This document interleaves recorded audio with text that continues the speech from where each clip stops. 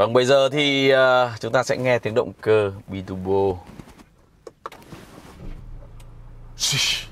Như máy xăng, ngồi trong đóng kín cửa êm lắm. Êm đấy. Nói chung là để mà nói về uh, tiện dụng đi trong phố thì à, uh, Forenger khó khó có đối thủ thực sự là vậy nhưng uh, phần uh, chạy trên đường trường thì chúng ta đã có được những cái cảm nhận rồi. Bây giờ thì ờ, tôi có một cái xa hình. Nó cũng tương đối không khó. Nó tương đối dễ uh, nhưng mà cũng để đủ để uh, ta có thể cảm nhận được uh, cái cái khả năng chạy địa hình của xe. Này bập bập bập đấy. Với những chiếc xe mà các bạn với những chiếc xe mà chỉ trang bị một cầu ấy chẳng hạn thì với đường này sẽ hơi khó khăn. Và đặc biệt là cái độ cao của gầm nó không quá tốt. Thì các bạn sẽ thấy là sẽ khó đi được cái đường này. Với một cái tốc độ cao nhá tôi không nói tốc độ chậm. Tốc độ chậm thì xe nào cũng có thể đi được. Xe nào cũng có thể đi được thưa các bạn. Đó. ở đường này thì tôi sẽ bật uh, hai cầu. Hai cầu. Nó không quá bám. À, các bạn sẽ thấy này. Ngay cả những cái mô như thế này tôi có thể uh, tăng tốc và bay lên. Đấy, bay lên thôi chả có vấn đề gì cả. Đấy thì đây là lợi thế của một chiếc xe bán tải nói chung, với một cái điều kiện địa hình tương đối là vừa phải. Wow. chậm chậm. Ở đấy. Ờ, gầm như thế này nhá, mà đã phải đi chậm rồi. Rồi. Tăng tốc và ôi cũng rally được các bạn ạ. Có thể chạy tốc độ cao tốt. Nhưng bởi vì cái việc mà uh, phân bổ trọng tâm nó hơi khác một chút cho nên là là chúng ta phải cẩn thận tại các khúc cua. Nhưng yên tâm mẫu xe này có có những gì? Có hệ thống uh, phanh tự động. À, nếu mà gặp uh, uh, xe phía trước đang uh, chạy mà phanh đột ngột thì nó cũng sẽ sẽ sẽ giảm tốc và sẽ cảnh báo cho chúng ta. Và đặc biệt là ESP thì đương nhiên rồi các dòng xe Ford ngày nay được trang bị ESP nó cũng sẽ hỗ trợ chúng ta khi qua cua chung là hệ thống lái này thực sự để mà nói thích như những cái hệ thống lái trợ lực dầu như tất cả những cái mẫu xe bán tải. Trên thị trường ngày nay thì ờ, tôi chưa thực sự là ừ, thích một cách sâu sắc. Nhưng nếu mà nói đi một cái đường xấu như thế này mà lái lại nhẹ nhàng thì đó lại là một lợi thế. Tôi không cần chạy phũ. Chạy phũ là dành cho những chiếc xe mà uh, thi đấu chẳng hạn. Ví dụ vậy. Nhẹ nhàng thực ra là đi đường xấu với cả Ranger thì là ờ, đi một tốc độ vừa phải không phải ôm cua gắt không phải thể hiện những cú uh, siêu anh hùng những cú lái siêu anh hùng thì với Ranger như thế là đủ. Vừa rồi thì mình vừa vào trạm dừng nghỉ bởi vì đi với đoàn cho nên phải theo cái lịch trình của đoàn. Thì bây giờ mình sẽ uh, chuyển số dần dần nhá. Sẽ để uh, từ tốc độ thấp đến tốc độ cao để các bạn xem cái sự chuyển số của hộp số 10 cấp chuyển mệt nghỉ luôn 10 cấp cơ mà. Đếm không đã mệt rồi. 5 6 7 rất hay là cái mẫu xe này chạy khoảng trăm hai, hơn trăm hai. Hơn trăm hai thì nó đã lên được số 10 với mẹc thì là khó nhé với mẹc chạy hơi bị khó để lên được số 9 luôn. Với điều kiện đường ở Việt Nam cái lợi thế của những cái cấp số cao như 9, 10 thì nó sẽ giảm cái vòng tua và tăng cái độ tiết kiệm nhiên liệu. Biturbo cũng vậy. Thực ra Ford rất là thông minh trong cái việc mà phát triển cái động cơ Biturbo 2.0. Trên cái Ranger này thì so với Wildtrak thì nó chỉ là 4 máy thôi và mình nghĩ rằng hơi chủ quan một chút nó sẽ có cái khối lượng uh, nhẹ hơn cái động cơ 3.2 năm xi lanh ngày xưa và cái việc phân bổ trọng lượng nó cũng tốt hơn. Chính vì ngày xưa mình thử cái động cơ 3.2 ấy thì cái phân bổ trọng lượng về phía đầu nó hơi nặng mà lại chạy không tải nữa cho nên khi mà chúng ta uh, chạy chuyển làn khẩn cấp liên tục thì cái đầu nó kéo đi nhiều hơn. Và nếu như ờ, các bạn ờ, khi chạy trên đường trường mà chạy chế độ D vẫn chưa thấy hài lòng lắm, nó hơi có cái gì đấy chậm chạp một chút thì bạn chuyển sang chế độ S Đấy, các bạn nhìn trên đồng hồ tua máy nó sẽ cao hơn số nó sẽ nhảy nhanh hơn. Sang chậm về nhanh. Đó. Bóng hơn hẳn.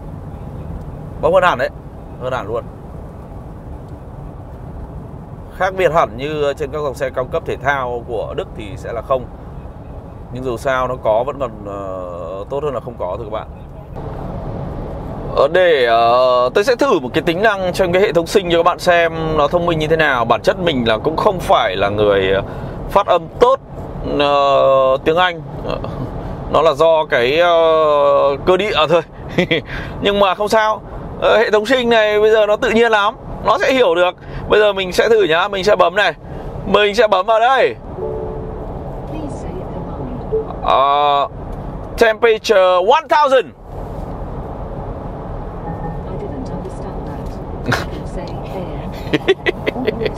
1000 degree chắc chết mất. Nếu mà hệ thống này thông minh nhá Mình nói thật sự luôn là nó hiểu Mình nói là tôi cần một cái hamburger hay là cái gì? Gà rán KFC Đấy Nhưng mà tất nhiên là vui thôi. Giờ tôi sẽ thử lại cho các bạn xem. Đây, tôi lại. Temperature 23 Did you say 23 degrees? Yes Ồ, Oh, chiếc xe này rất good. Đúng không ạ? Rất good. Đấy, bạn có thể uh, gọi điện với những cái câu lệnh rất là đơn giản.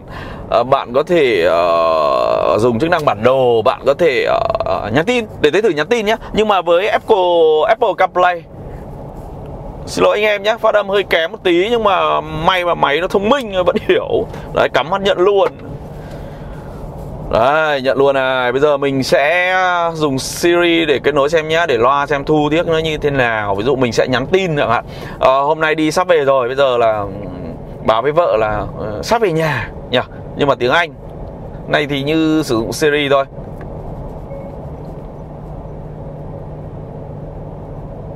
Take message.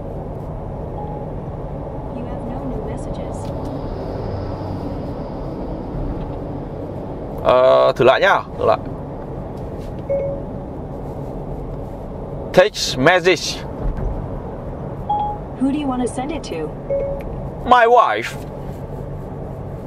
What do you want to say? Oh, I'm coming home. Your message to my wife says, Oh wow, I'm coming home. Ready to send it? Uh, send.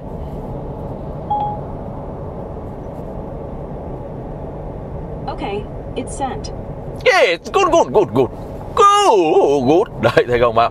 Nhưng mà nhớ, tất nhiên ờ, có thể ờ, với cái chức năng như thế này thì mình ờ, dùng những cái câu đơn giản rồi nhận diện văn bản bằng tiếng Anh thôi. Đây là cái chức năng Siri nó cũng tương tự khi chúng ta sử dụng điện thoại nhưng nhưng mà rõ ràng khi mà tôi đang đi cao tốc như thế này, tôi có một cái hệ thống Adaptive Cruise Control, tôi có một cái hệ thống hỗ trợ giữ làn uh, tôi có một cái khả năng giao tiếp với cả xe và tôi vẫn tập trung tôi lái xe. Như vậy rõ ràng là an toàn hơn hơn nhiều. Và chúng ta chỉ cần thử dùng làm quen với nó trong một thời gian không quá dài là chúng ta sẽ có những cái hỗ trợ cực tốt từ những chiếc xe thông minh như thế này. Và nên nhớ rằng đây là một chiếc xe bán tải. Như các bạn đã thấy thì ở tốc độ 120 km/h thì Ranger Biturbo 2.0 đã lên tới hô số 10 các bạn vòng tua thì cũng khá là thấp. Nó loanh quanh nó khoảng ngàn bảy thôi.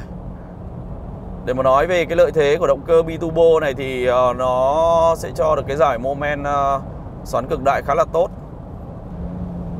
Nhưng nhìn chung cảm nhận chúng chung tôi vừa chạy cái uh, Triton về chạy rất phũ ở đường uh, bào trắng đường cát rồi đường sỏi đường đá thì thực sự mình thấy là ở tour cao thì mình vẫn khoái những cái dòng như là Triton hay là Nara thậm chí cả Colorado.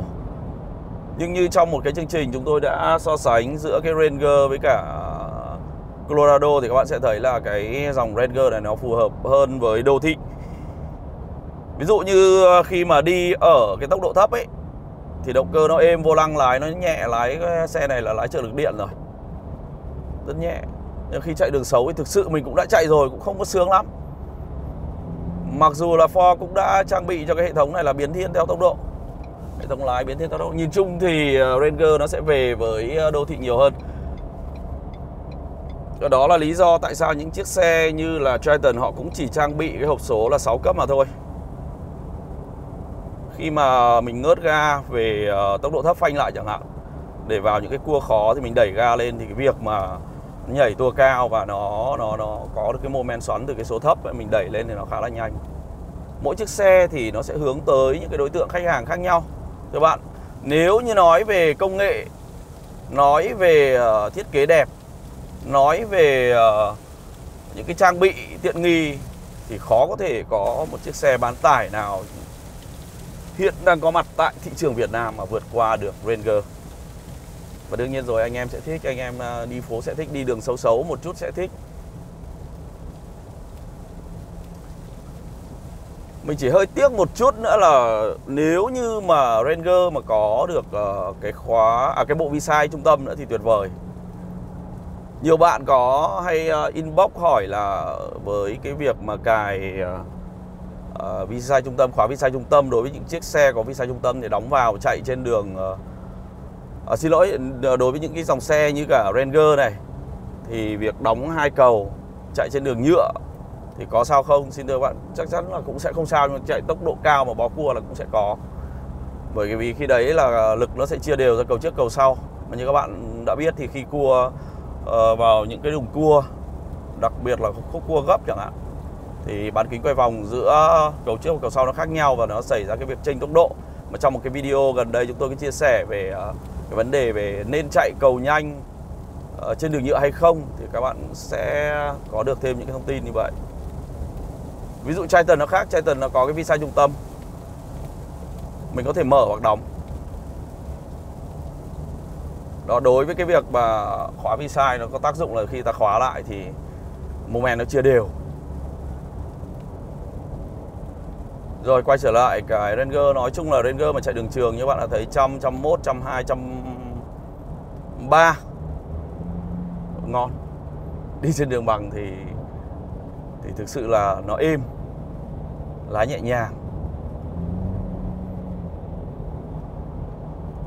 Nhưng nói về cái động cơ turbo này thì thực sự là để mà bảo là chạy sướng thì mình nghĩ là chưa sướng thậm chí còn không sướng bằng cái oai trách ngày xưa. Nếu như nói về chỉ số bằng con số liệu ấy, thì các bạn sẽ thấy là cái động cơ turbo này ấy, là 213 so với 3.2 oai trách ngày xưa nó là 100 một bên xoắn nó cũng cao hơn thì những con này là 500 thì phải còn đời trước đâu nó 470 nhưng đấy chỉ là chỉ số về mặt lý thuyết mà thôi còn về mặt trải nghiệm nữa hơn nữa cái hộp số này lên lên tới 10 cấp. Cái việc cái thuật toán nó xử lý nó sẽ sẽ là khó hơn nghe chỉ số thì sướng. Nhưng mà cái việc chuyển số êm hay không như những chiếc xe mẹt chẳng hạn là 9G thôi. Mà rất là êm. Chuyển thực sự là rất là khó biết. Nhưng mà khi mà nó có, nó đưa ra các drive mode khác nhau, thì nó sẽ tạo ra cái sự khác nhau. Nó, số nó nhảy cóc, rồi nó ép tua, rồi vân vân. Theo điều kiện. Thì trên những chiếc xe sang thì cái thuật toán xử lý cũng như công nghệ về cơ khí, công nghệ về điều khiển thì nó cũng sẽ khác những chiếc xe mà thấp cấp hơn. Đó là lý do tại sao nó đắt hơn còn nhìn chung với cái Ranger này thì mà đi đường ờ, phố đường trường thì khó có thể mà chê được. Nó như những chiếc SUV chúng tôi cũng đã nói rất nhiều trong những cái uh, chương trình uh, đánh giá về những chiếc xe bán tải. Và đặc biệt là mẫu xe này uh, đi trên đường uh, cao tốc ở Việt Nam hiện tại các hệ thống cao tốc ở Việt Nam ấy nó đang phát triển rất là tốt thì nó có các hệ thống hỗ trợ như là uh, hỗ trợ giữ làn hay là adaptive cruise control. Ờ, chúng ta có thể tùy chọn nhé. Nếu không thích thì chúng ta có thể tắt đi. Ngay cả chế độ adaptive cũng có hai chế độ. Mình có thể chạy chế độ tiêu chuẩn. Nó sẽ không kiểm soát cái khoảng cách, nó không giữ khoảng cách. Nhưng ngược lại, chúng ta có thể để adaptive để nó bám theo chiếc xe trước. Khoảng cách chúng ta cũng sẽ thay đổi bằng một cái phím ngay trên vô lăng này. Nói chung đây là một chiếc xe bán tải khá là thông minh.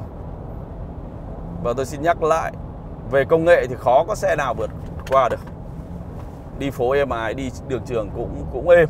Và chắc chắn. Sâu xấu một tí cũng được. À, có vi sai cầu sau có cầu nhanh cầu chậm.